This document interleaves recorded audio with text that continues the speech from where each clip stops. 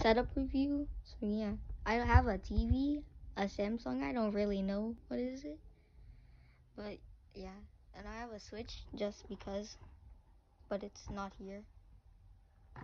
And then AT&T there, PS4. Yeah. Laptop. I don't know why it's there, but it's there. I have a vibrator. Just I just like it. Don't know why.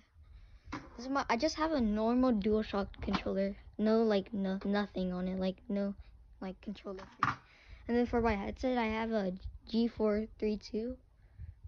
Pretty. It's a pretty good thing, like headset. And then all my games.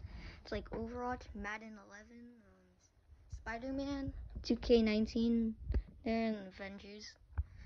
And let's get here. I don't really use this thing a lot, but yeah, so I just like to fit, like, like just click it because it sounds good. I just normally keep some homework in there, you know. And yeah, and that's basically setup review. Oh, and also I just have this for my montage songs. Yeah, that's setup review. Bye.